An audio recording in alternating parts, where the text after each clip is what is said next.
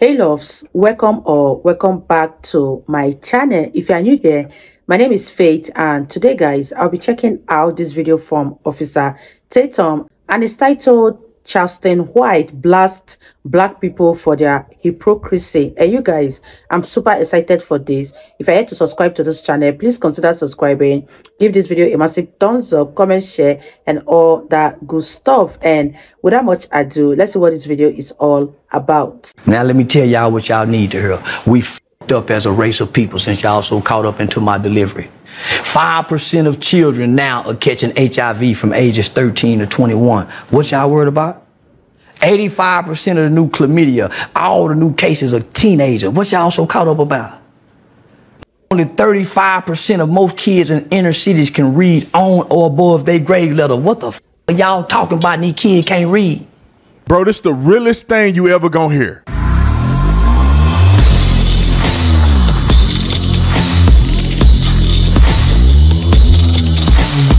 This video is brought to you by TatumStore.com. TatumStore.com get you a Trump on the Chump shirt today.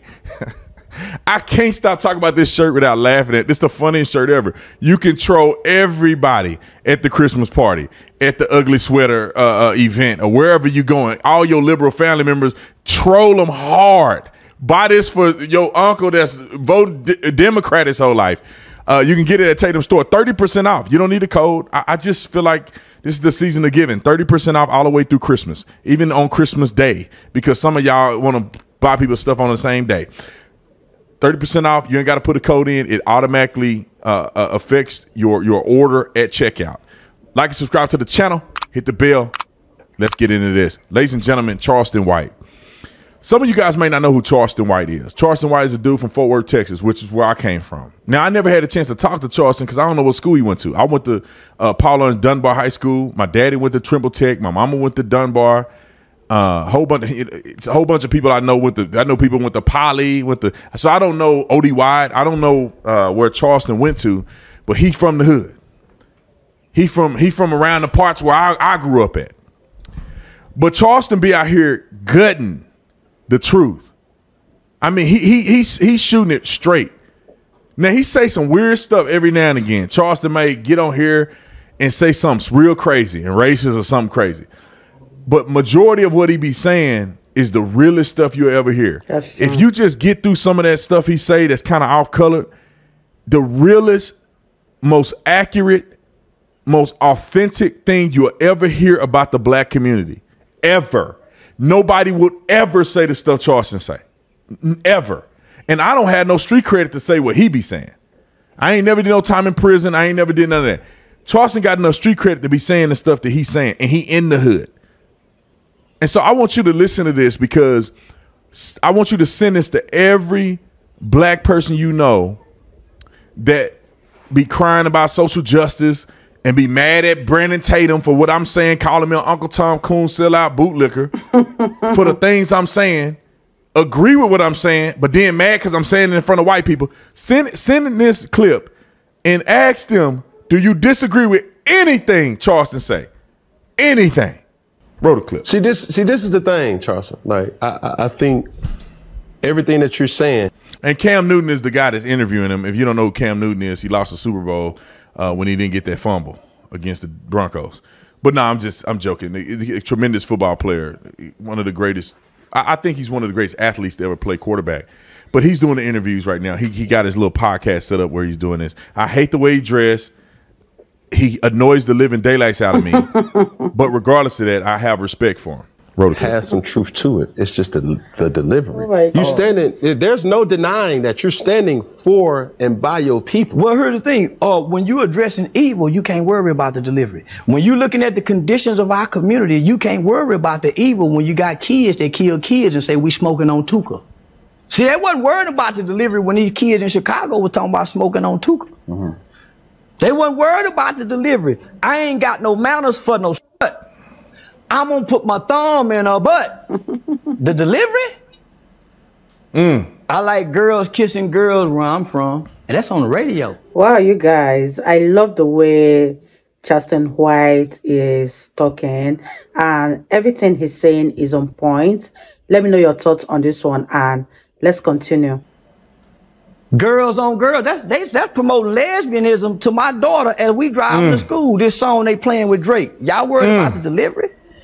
These talking about killing each other. They really that nigga thug said, I shot at your mama. You don't mention me no more. He really shot that mama. And y'all worried about my delivery? These are confessing to murders on songs. And y'all worried about my delivery? the conditions of black sucking them talking about booty hole. Y'all worried about my delivery?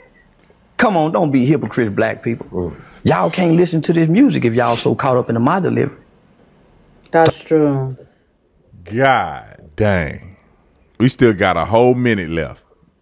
God dang. Do anybody disagree with what Charleston said? Of course, far? no one. I already know the answer is no. Don't do me like that. And the way y'all snap and pop y'all to this music, the way y'all kill and drill to this music, don't trip about my delivery. Hey, yo, easy. Why you wear your pants like that? I wear my pants like that because that's easy access, baby. Easy. Why you talk like that? I talk like that to get my point across. Cause when I wasn't talking like that, wearing a bow tie, y'all wasn't paying me no attention, and I was going to the Supreme Court changing laws and legislations in this country. I was working with over 50 U.S. congressional members, from Ted Cruz to Marco Rubio, Senator John Cornyn. I was on the front page of the American Bar Association Journal. I had done a study with News 21, Walter Cronkite School of Journalism. Y'all wasn't paying attention then. So I gave y'all what y'all want. A ignorant mother nigga that talk like them rappers. now y'all listening. Now y'all paying so attention, huh? I got y'all attention. Checkmate. Now let me tell y'all what y'all need to hear. We f***ed up as a race of people since y'all so caught up into my delivery. 5% of children now are catching HIV from ages 13 to 21. What y'all worried about? 85% of the new chlamydia, all the new cases of teenagers. What y'all so caught up about? Only 35% of most kids in inner cities can read on or above their grade level. What the f y'all talking about these kids can't read? Come on, my nigga. now, you know, the serious. whole interview was crazy. I saw a whole bunch of other stuff that he was saying. And, and Cam Newton, um, you know, he was a little upset about some things that, that Charleston has said, but it's real. I, I feel the same way he feel because I'm looking at it and I'm seeing black people get on television, get on podcasts, and they complaining about white people. They talking about police. And they saying we ain't got no chances in this world. We got to work harder than white people. And I and I remember growing up in Funky Town, Fort Worth, Texas, where he grew up at. I remember growing up in Texas. I remember being on Ramey. I remember uh, my cousin used to live the street across from Lil John. And I remember Lil Jon had a gang on the street that you couldn't wear certain colors on that street, or you you might get killed or something. Hmm. You you know, I, like I, I, remember back then when we thought gang banging was cool. My cousin them jumped us in Five Deuce Hoover Crip when I was young, and we thought it was cool. He they jumped us in right on the couch.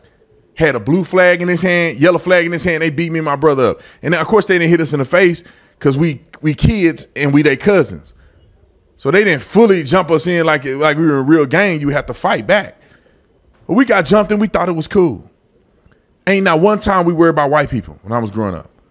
You hear rumors of white folks don't like, but in the in, when you grow up, you guys. One thing I just want to add here is that as much as black people keep complaining about white people being the reason why they are not successful, just bear in mind that there are so many successful black people out there and nobody stopped them. So i don't know how the whites are stopping the blacks from being successful. What do you guys think about this? You guys think that white people are the ones making the blacks not to be successful?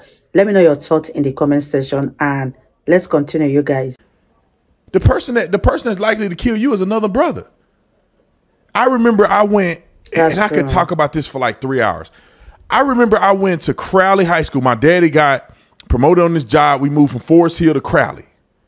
And Crowley is a white neighborhood, middle class white neighborhood. So we moved to Crowley. We started going to Crowley High School, Crowley Middle School, Crowley High School, majority white. The, the, the middle school was clean. We learned, we did powerlifting in middle school. They teach they taught us how to lift weights in in seventh grade. We competitively lift weights in eighth grade.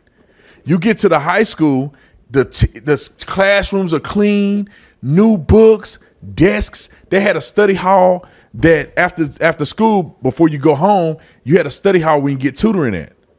This is a public school. We had a weight room, we had a gym, we had powerlifting, we had I mean we had actual powerlifting coming. My brother won state in powerlifting. Track and field, I mean they had everything. Because of football, we wanted to go uh, Dunbar because they had a football team, and we wanted to go to the league. So Dunbar had a cold team. Dunbar were known for athletes. We went to Dunbar. Me and my both my brother both were all American football players at Dunbar. But when you go to Dunbar, the same book and desk and chairs are the same ones that my mama sit in when she went to Dunbar. People coming off the street fighting in the school. And they had a police officer on campus. I never forget, I got suspended because my girlfriend was a fighter. And so she beat up the dude. I thought the dude beat up because she called me crying. I come back for lunch. I almost towed my car up, put it in park while I was driving. I jump out and I am embarrassed at how I act. Now I am. But then I thought it was tough. I'm cussing. I'm calling that dude the N word in front of people. Parents, man, they suspended me for three days over that. But while I was gone, there were 11 fights at the school, 11 separate fights. People coming off the street in the school fighting. The, the halls smelled like pepper spray because when the fights break out, they just they just spray pepper spray in the hallways. I remember um, BA, y'all don't know who BA is. BA brother got out of prison. He riding through the parking lot. Some other dude, brother, is another gang banger, prison dude. He drives through the parking lot. He flashing money like this. We kids. He a grown man flashing money out his car. Him and BA brother almost hit in the parking lot. BA brother, who just got out of prison, went to the back of his car, pulled out a big old gun, and we got a police officer on campus. Wow. The police officer's coming out. BA brother got the gun in his hand. He jump in the car. They chase each other. And, and the cop get in the car and chase them down the street. They almost shot it, start shooting in the parking lot. I'll tell you this. One of the guys on our team, I ain't gonna say his name because he a real gangster. And I, I don't know how he still living. He may want to kill me or something for putting his name out there. We had a dude on our team. He he was a crip. I think he was a crip or blood. I can't remember. He used to carry a gun to practice every day. He put the gun in his locker. It was a revolver. He'd take the revolver out, put the gun in his locker. Lee take the gun out, store his gun. And football practice. He played football. He had to have a gun on him. Wow, you guys, this is a very shocking one. And I don't know that the gangsterism within the black community is this bad, if there is a word as that, but what Officer Tatum is saying right now is making me so, so surprised because this kind of thing doesn't happen over here. People over here are normally behaved and even when there is a court or anything or such that is going on, they hardly bring it to, to the school premises this is very, very shocking. And you guys, let's wrap this video up. I, I just ODY was way worse than Dunbar. Half of the half of the girls at ODY were lesbians. We, we, they did a tax mm. test where you have to take the state text state test in tax in Texas in order to, to uh, graduate. Zero. This is an 05. Zero people from ODY passed the test. Zero. That means no kid at the school passed the, the exit test from Texas. And it was the first year. I'm gonna tell you how bad it is. It was the first year, so you only had to make like 40%. Zero people made at least a 40% on the test. Zero. Wow. Poly was just as bad. Eastern Hills was bad. All the black schools were bad. The white schools were fine. All the black schools were bad. Southwest, Western Hills, all these white schools were totally fine. Dunbar High School. They right down the street from the school, they selling dope to the crackheads and they wash your cars. Right up on Ramey. Charleston know what I'm talking about. Right on Ramey. I remember I gave a crackhead some money to wash my car. And that's when I stopped. When I saw him smoke the crack, is when I stopped doing it. Cause I never see them smoke crack. I just give them the money. They wash the car. We know they crackheads. But I saw that brother back there bubbling that crack in that pipe. It, it, it broke my heart. I said, how can I be doing this to my own people? And I never went to that car wash again. But the dope boys, to this day, they still parked outside that car wash. But anyway, if you live in Fort, Town, Fort Worth, you know what I'm talking about. Charleston ain't lying. But why is it that we become disingenuous? And y'all talking about somebody delivery.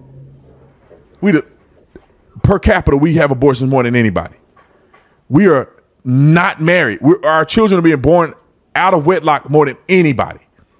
Committing dangerous hmm. crimes more than anybody per capita, by far. Murders more than anybody. Murder victims more than murder suspects more than anybody. In, negative interaction with police more than anybody, by far. Crimes against other races more than anybody, by far. Black people commit twice as much crime against whites as whites against blacks.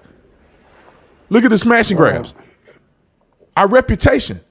We got LeBron James in the NBA, one of the richest basketball players to ever live. He talking about he can't leave his house without being afraid of police officers.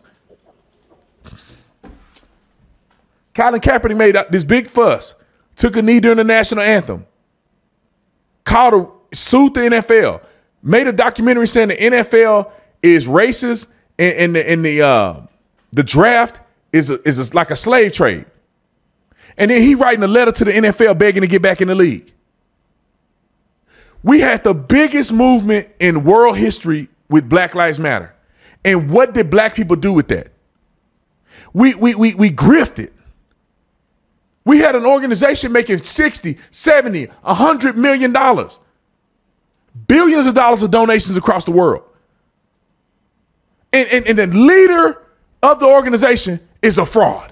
She had to step down. She buying mansions in white neighborhoods. White people being her security guards. This is what we do when we, we got a movement. This is what we do. I could talk a hundred years. I'll see y'all in the next one. I'm out. Wow, you guys, that was such an interesting one from Officer Tatum. And let me know what you guys think about this video. What do you think about Charleston White Do you agree with what he said in this video? If you did, leave a comment in the comment section. And I really had fun with this video. If you guys totally enjoyed watching, give this video a massive thumbs up, comment, share, and all that good stuff. And I'll see you guys in my next video. Bye, guys.